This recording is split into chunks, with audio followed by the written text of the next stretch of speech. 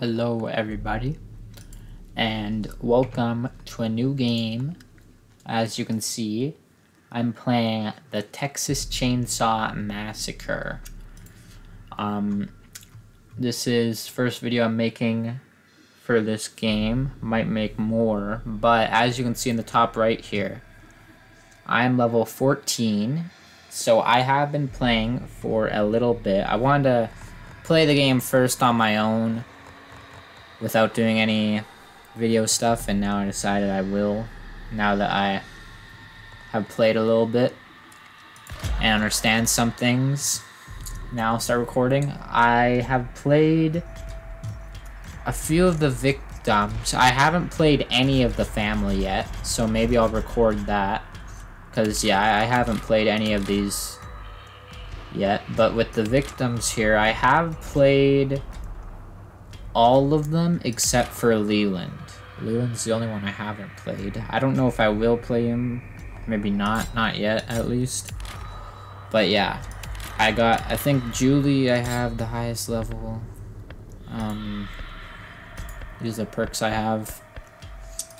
Um, yeah, played Sonny, Anna, Connie. But I think Anna is, I made a, I just can see if I have a 2 here. This was the first, I guess, ooh, I have an extra attribute. Uh, uh, this is the first build I have, and then if I press X, I go to my second build, which I don't know why, but on my second build, I, like, put as, like, a lot into strength, because the strength, um, I guess if you haven't played this game before, the victims have their one main, I guess, ability. Yeah, abilities and perks. So this uh, black and white one is the victim's main ability. They all get a different one. And these three are the three perks you can choose that for your victim. And you unlock new perks through this skill tree. Now, all the victim skill trees are different. I'm guessing the uh, whatever family members also have a their own skill tree. But yeah there's different paths you can take and like taking one gives you a perk. Like I went this way which gave me this perk. Then going over to here I got another perk. Then up here I got this one. I think both of these I don't know if I'm using this one but I know I'm I'm using this one here.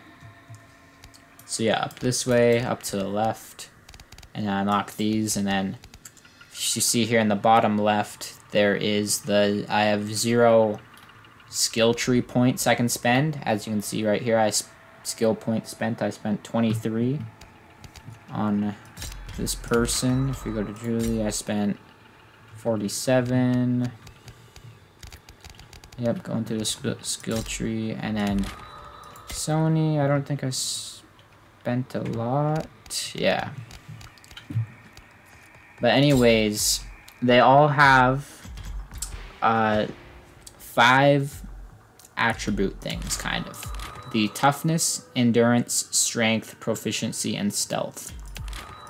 The toughness is basically how much health they have and how fast they are at getting back up after being incapacitated.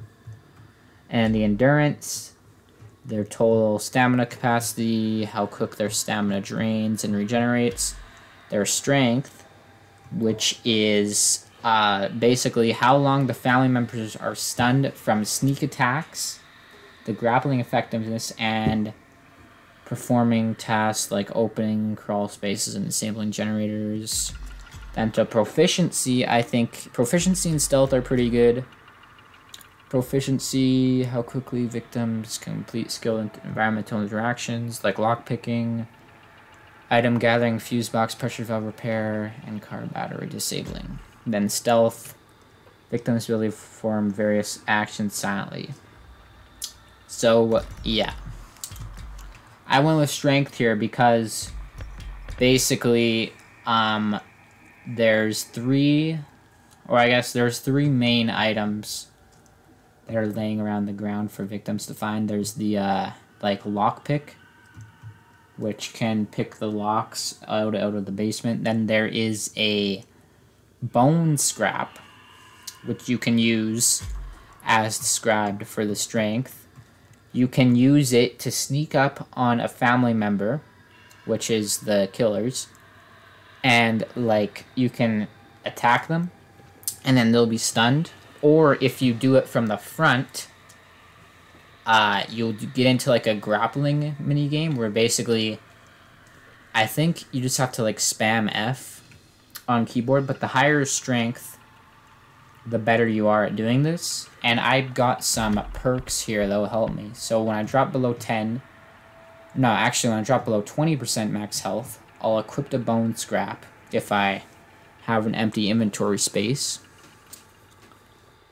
Which will be useful. I'll just, I'll get it. And then basically I can turn around depending on the family member, like the, um, Leatherface, it would probably be really hard to win that, but like I think with the other ones, you can win if whoever's playing the family member doesn't expect it. Because then you you basically can spam F before they realize that they're supposed to spam F. I don't I don't even know what the family member has to do if it's a different minigame for them. But yeah, and then I have this uh, skill here, the grappler, or a perk, I guess. Each button tap during a close encounter is worth more towards winning the struggle. Button taps are 15% more more effective. So yeah, I guess what it's called is a close encounter when you do the thing from the front. But yeah, I guess that's enough explaining for now. And I guess once I get into it, I can explain how the game works. Hopefully I don't die or something. But yeah, I will play as victim here.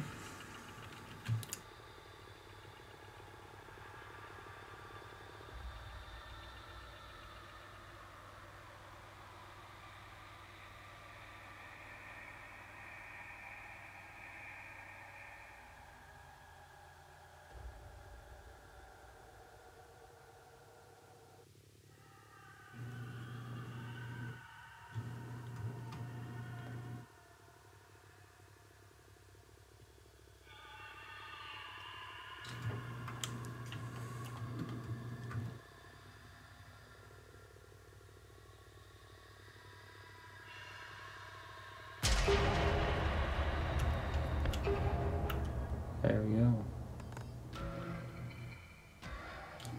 Let's just... Alright, perfect.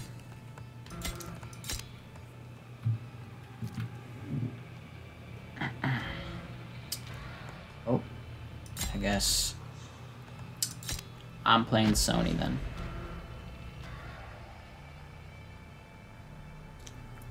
Here we go. Fam family house at dawn.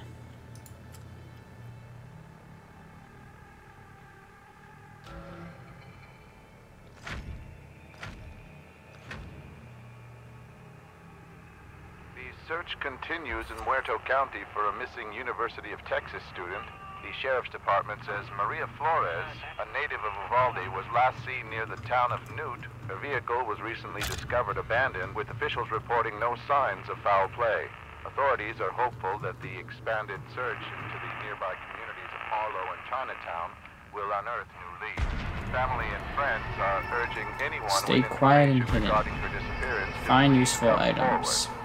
Series of home invasions throughout Bell County Unlock exits. search for a known fugitive. Omar Polly, Escape the family. native of Holland, Texas, was arrested in 1967. So yeah, we start like chained up here. Oh, whoa.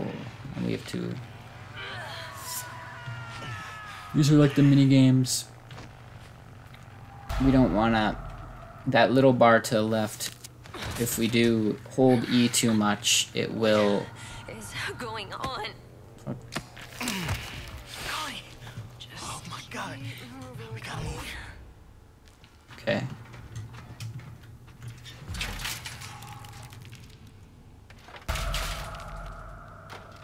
Just wanna open this. go.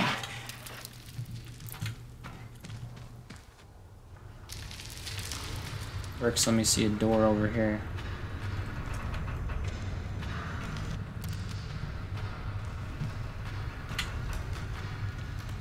This might come in handy. See where this leads? This might lead to the others. Scrap.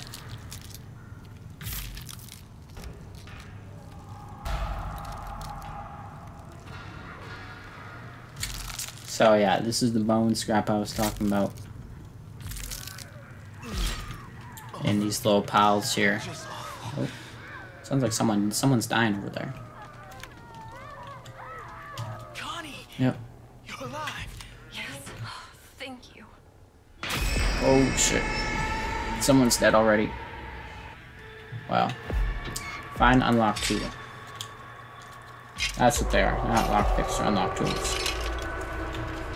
But yeah, right now, Grandpa, whoever, for the family, is screaming. And if you move while he's screaming, oh shit. He will.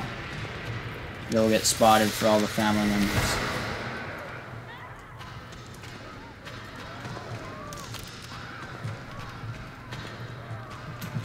Anna. So glad you're here. Jeez, sounds like everyone's dying. I should grab that. Yep, everyone is dying. Oh shit. Latch, please. Spam this open.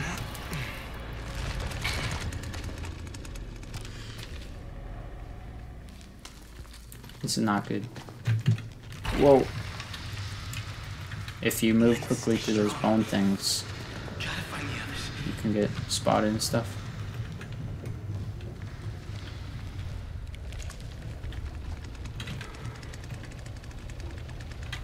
I don't know. It's kind of hard to explain while playing, so I guess this isn't really an explanation. I guess it's just gameplay.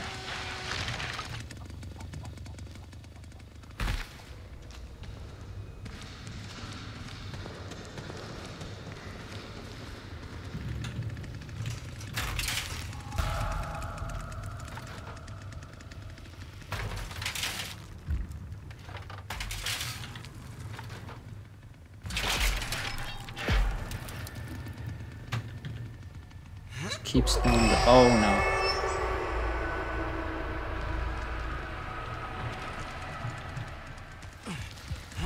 Okay.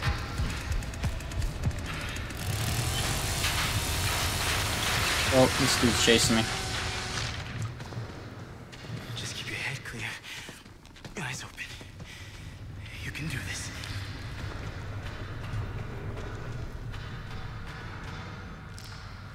I forgot. Forgot what this guy's building.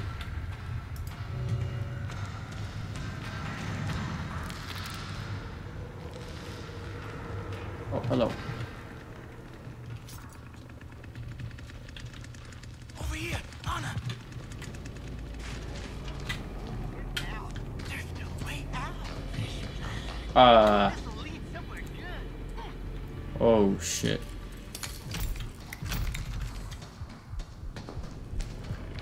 What?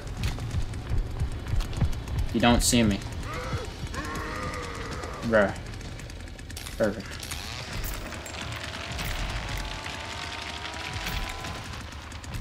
Don't mind me. Don't mind me, please. Nope, grapple. This is the grapple thing. Smack my.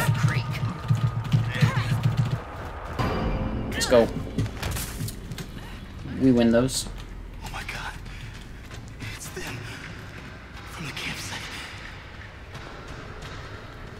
Oh shit. Clear for now.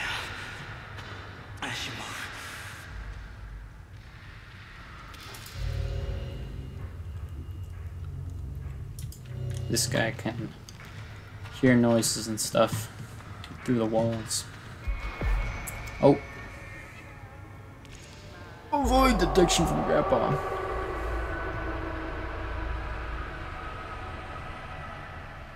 There we go.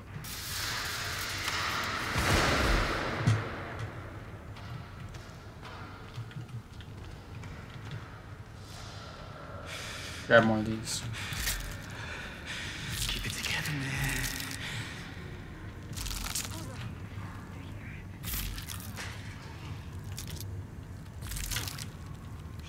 What is it?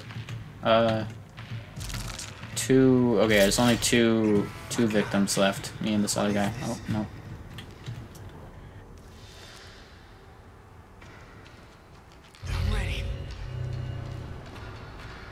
Oh shit.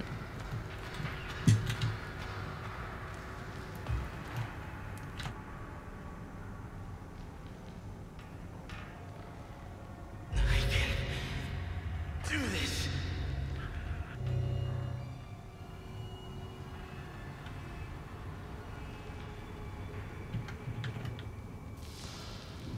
Why, you run?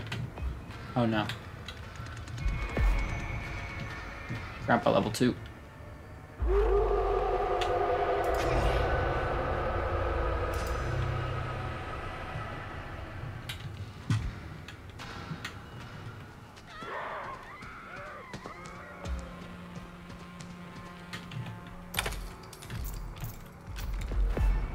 No way. The last person left.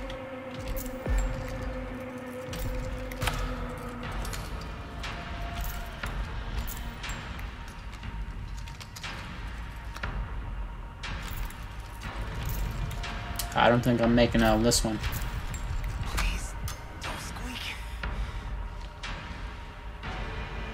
Before I open that, I'm grabbing one of these.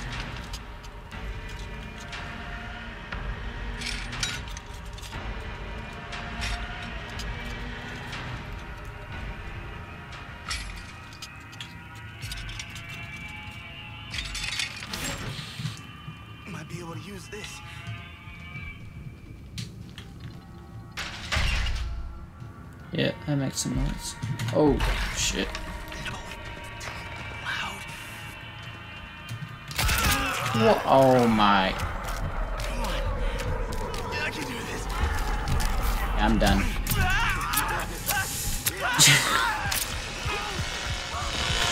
that striker.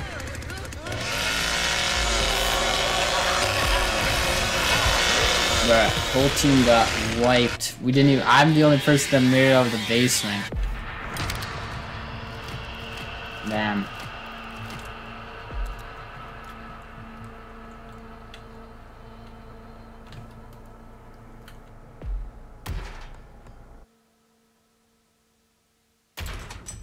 Well, that was a pretty uh pretty good good first game there. How long was that? Um oh shit.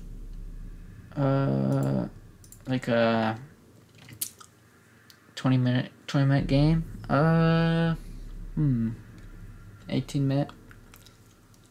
Uh yeah, it's a good good place to end it there uh, one one game in uh, as Sonny. So didn't even make it out of the basement. Barely. Entire all the all of all the victims died immediately. But yeah, on that one there, maybe yeah, up uh upload these alongside the Phasmophobia ones probably. But yeah, that's it. See ya.